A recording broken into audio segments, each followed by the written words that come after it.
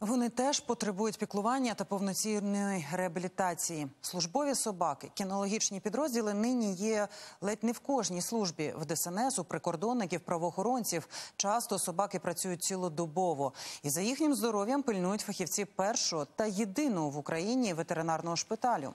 Крім того, там надають допомогу тваринам, які залишаються у безпосередній близькості до лінії фронту. Днями фахівці шпиталю відвідали Запоріжжя.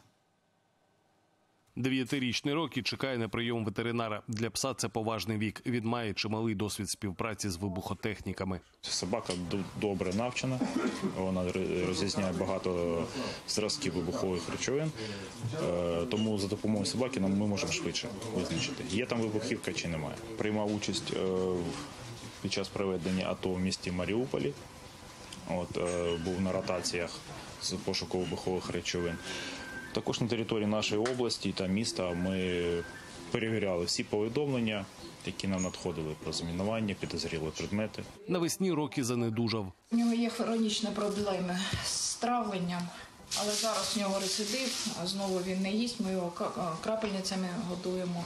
Ну, сподіваємося, що зараз колеги наші нам допоможуть, можливо, ми зробимо ще УЗІ, обстеження додаткові. Бо дуже жаль, він дуже хороший хлопець. І ми сподіваємося, що в нього все буде добре.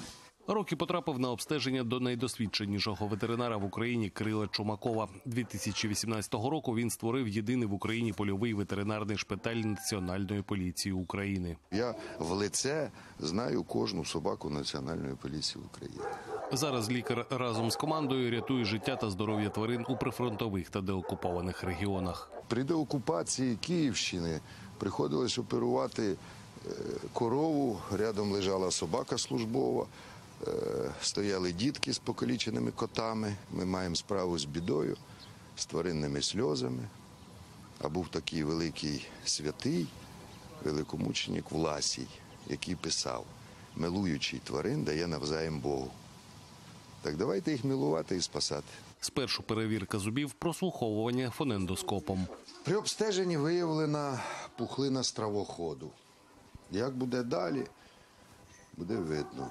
Будемо надіятися тільки на позитивне рішення. Це ніхто не говорить про евтаназію, е, вплоть до оперативного втручання. Кирило призначив роки курс крапельниць. Тим часом на прийомі вже неш зі скаргами на біль у вухах. Готується на пошук вибухівки. Так, їй тільки рік. Було запалення вуха, і е, внаслідок того, що було запалення, реакція, як мені пояснили в ветеринарній клініці, почала набиратися лімфа в вухі. Серед пацієнтів і пес Умкас, який вижив у ДТП, в якому загинув його кінолог. Собаку тоді шукали чотири доби. Собака з, по- з, з, з поламаної машини вискочила, і ми двоє суток шукали собаку, а потім залишили на місці ДТП речі Миколи кінолога. І через сутки приїхали. Собака була на місці аварії. І ця собака до, до, до сих пір жива. Вона вже дуже старенька. Ми її теж будемо оглядати. Вона вже плохо погано ходить. Протягом кількох днів Кирило обстежив усіх собак поліції, Нацгвардії та ДСНС. На перший погляд, е, зробивши обхід кінологічного центру, я зновив висновок.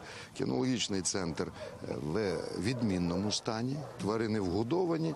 Тобто готові і далі нести службу. Сергій Вендін, Олександр Осадчий, подробиці телеканал Інтер, марафон. Єдині новини.